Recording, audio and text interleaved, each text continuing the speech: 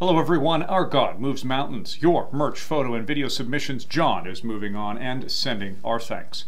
It's Wednesday, December 16th, and this is Quick Updates.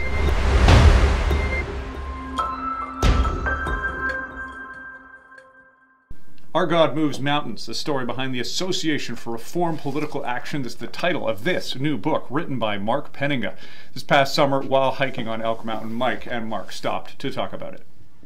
Hey everyone, it's Mike Schouten here, Director of Advocacy for ARPA Canada, and I'm with Mark Penninga. He's the Executive Director for ARPA Canada, and we're standing here at the top of Elk Mountain. Well, not quite at the top, we've just come down from the very top, found a suitable location here, and we want to talk to you this afternoon about something, a big project that Mark has been working on. Mark's been working on a book, and it's called Our God Moves Mountains. Now, Mark, can you share with our supporters why you chose this title and why you wrote a book at this time. What, what is the purpose of this exercise? Yeah, I'd be grateful to, Mike. As we all know, it's been quite the year, 2020, and uh, one of the projects that I worked on through the lockdown of the pandemic was writing a book. I've been blessed with a lot of clippings, so research articles uh, that goes back years that's been sent to me. I looked through it, compiled a lot of it, and started writing. Now, one of the nuggets that I found in that research is a story about a man named Peter Jongeling. He's a parliamentarian from the Netherlands. He came across to Canada in the 1970s and uh, he did a number of speeches throughout Canada about the prospects of political action in this country. And people asked him, you know, how should we go about this? His response was, if you don't have faith, don't start. If you do, our God moves mountains. And as I look back on the last five decades and especially the last about 13, 14 years with ARPA Canada, that's exactly what we've seen time and time again. It's such an encouraging story and I wanted to share that with the people who've, who've stood behind ARPA Canada since it started. Many of you will be receiving a copy of this book in your donor packages. Let us know what you think. Now, if you're wondering why I'm dressed like this, well, the ARPA merchandise has been landing on doorsteps. We've received many submissions from our supporters wearing these new items. Check it out. Thank you, ARPA.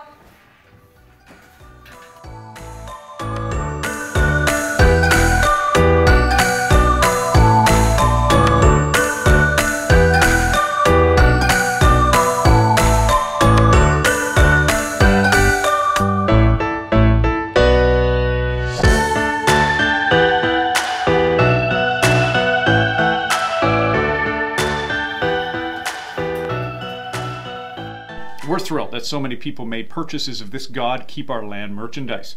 Don't worry if you missed out this time, we will be reopening the store again next year. The new year will be bringing some staffing changes around the office. For three years, John has been legal counsel for ARPA Canada. John joins us to reflect on his time with ARPA. Thanks, Colin. It's been an honor, a privilege, and a joy to work at ARPA for these past four years, uh, even though the work is often challenging and the issues are weighty. During my time here, I've had the opportunity to work with ARPA's fine team on issues like access to abortion data, changes to family law, euthanasia, legal cases involving freedom of the church, and much more.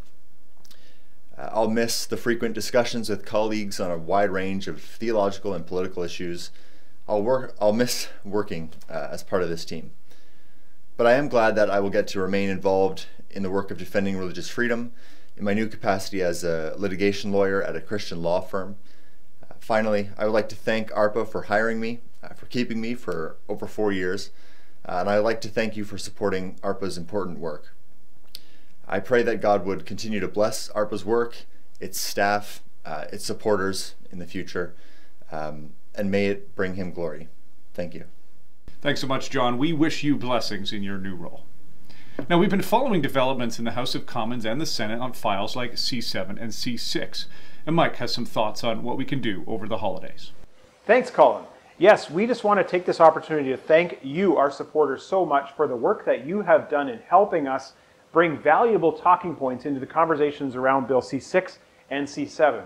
We also want you to know that the opposition, and by that we mean all the people who are not Liberal MPs advocating for these, these pieces of legislation, how they have been so good to work with throughout the course of uh, these bills making their way through the House of Commons. If you would like to come alongside us in sending them a note of thanks as we wish them Merry Christmas and a Happy New Year for the work that they've done on these bills, please email us at info at arpacanada.ca. Back to you, Colin. Thanks so much, Mike. That's it for quick updates this week. Thanks to you for watching. Please do like, share, and subscribe, and we'll see you next time.